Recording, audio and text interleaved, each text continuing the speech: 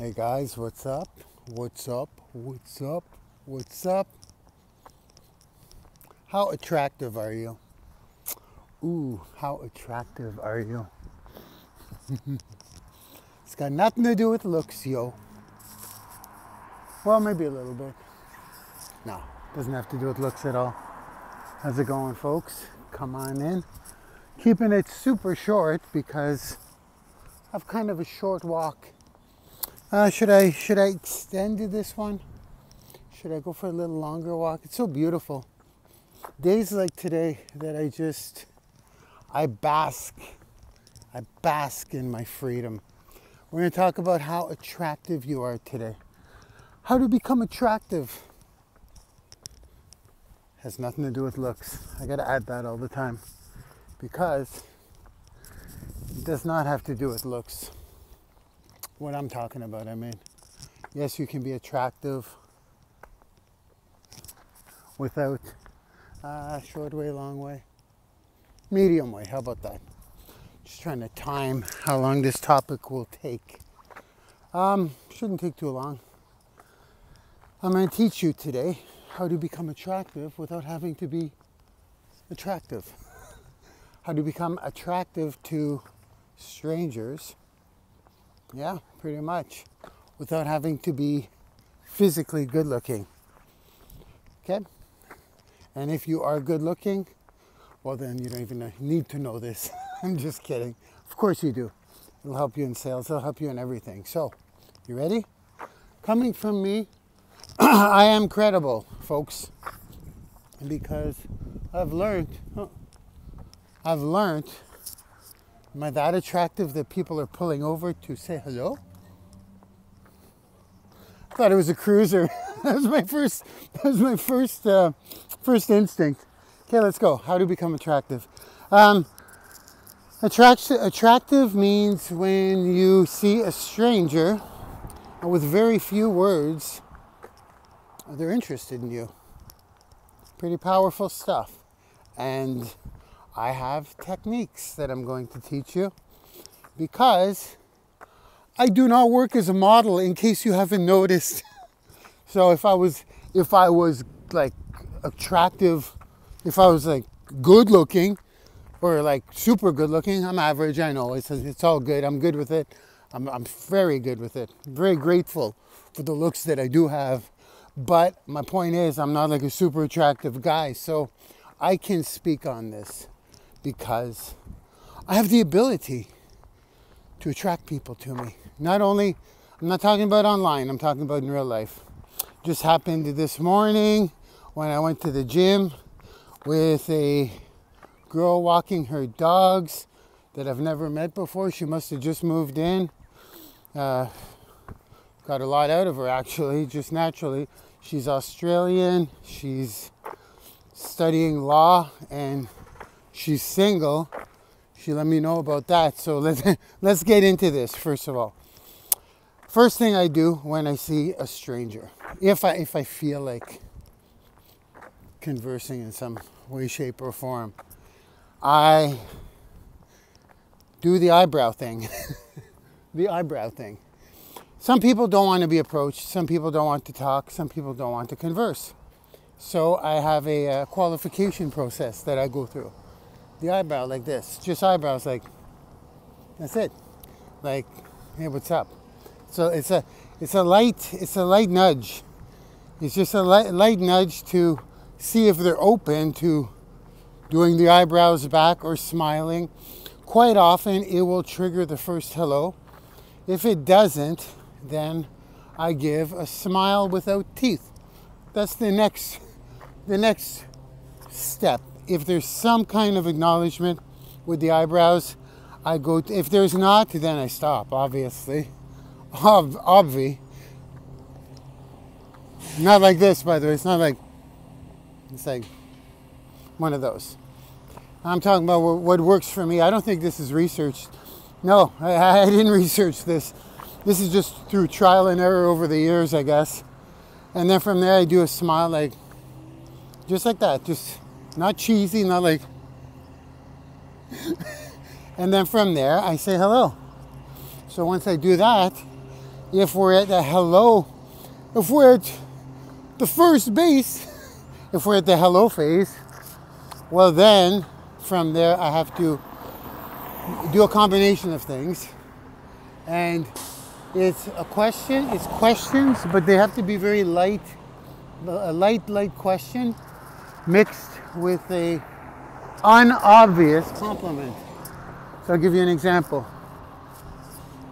Well, it, it, depends on the situation you're in, or what they're doing, or what. Uh, uh, this girl had a bunch of tattoos, so I just commented on the incredible depth of the artwork. That's pretty crazy stuff.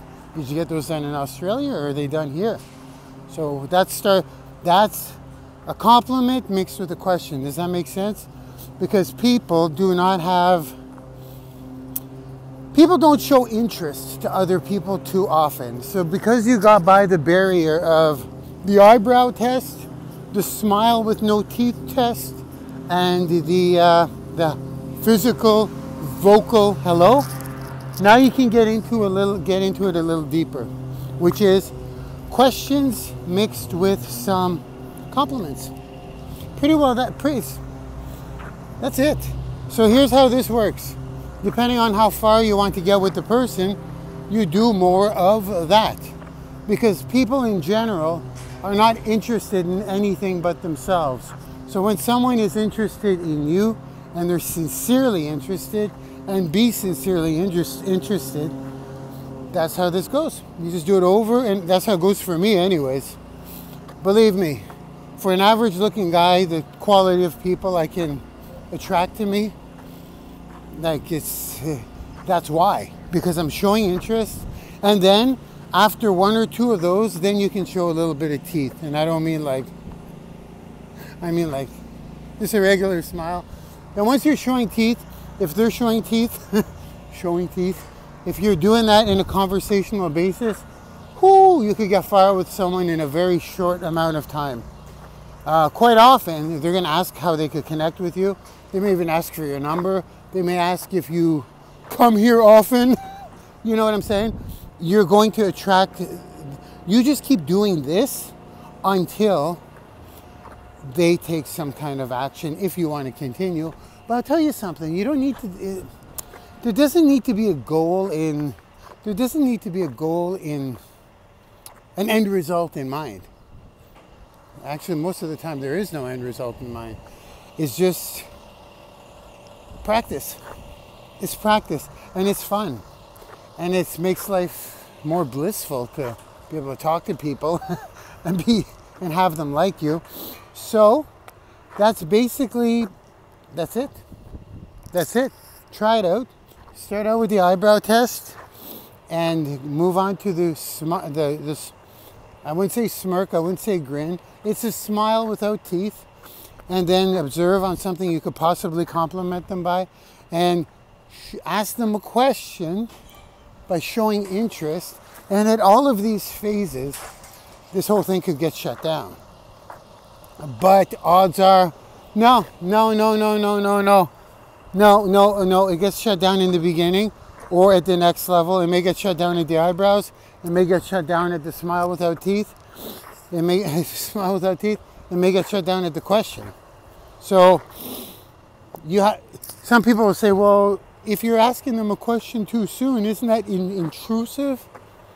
Well, there comes a point where you have to break the ice or speak. So no, it's fine. If it's not fine, no problem. It's not it's not do or die here. You don't need to talk to this girl or this person or this anyone. And I do that for everyone. Well, not everyone.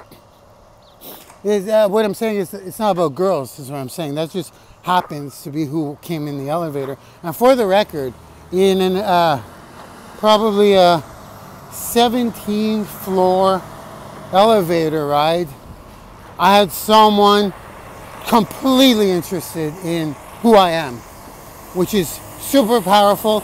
It's kind of like an elevator pitch. Actually, it's quite literally an elevator pitch. And again, I had no intention in, it's not because it was a girl. It was because it was just a person in the elevator, and it's become my my natural state. As a matter of fact, right before I got on this live, on the way down the elevator, there's a guy with some boards, an older fella, uh, Mike Kelly, I think that was his name. He just introduced himself. Um, he looked very grumpy. He was going down in the elevator with like wood boards, and we have a woodworking shop downstairs, like on the in B1. And I said uh, I did the eyebrow test.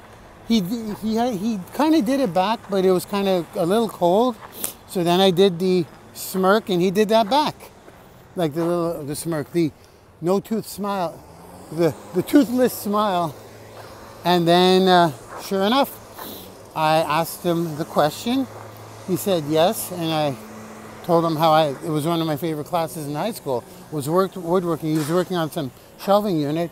Then we got into talking, and he said he just moved in, and I said, uh, "Oh, fantastic!" I go, and then I I went to the point where because you can make a you can make a move, right? Make a move. You know what I mean? I'm not making a move with a 70 year old man here. You can make a move. There is a time where you do make a move if you want to make a move. So with him, I just introduced myself because the elevator ride was down. A lot of stories in that elevator, I tell you. Here we're gonna go to the uh, we're gonna go to our destination now. I'm gonna wrap it up. I can't believe I rambled on about that for almost 12 minutes. so that uh, then I extended my hand. I said, "Oh, by the way, my name's Marc," and he said, "Nice to meet you, Marc." Always ask for their name back because sometimes they'll they're not used to having people introduce themselves and give them compliments and showing interest in what they're interested in and having something in common with them. That's when was the last time a stranger did that to you? Think about it. Not very often. And if a stranger did do that, would you remember it? Absolutely you would. So I asked him his name. Not only did he give me his first name, he gave me his, both his names and I go, fantastic, I'll see you around. He goes, Oh, it was a pleasure meeting you, Marc. So there you go. That's what I got for you today. How to approach a stranger. No, how to how to become attractive when you are not physically attractive. Uh, I know I'm saying ugly, but when you're not, when you ain't no supermodel. Okay, guys, have an awesome day, and I'll see you guys on social media. Destination reached.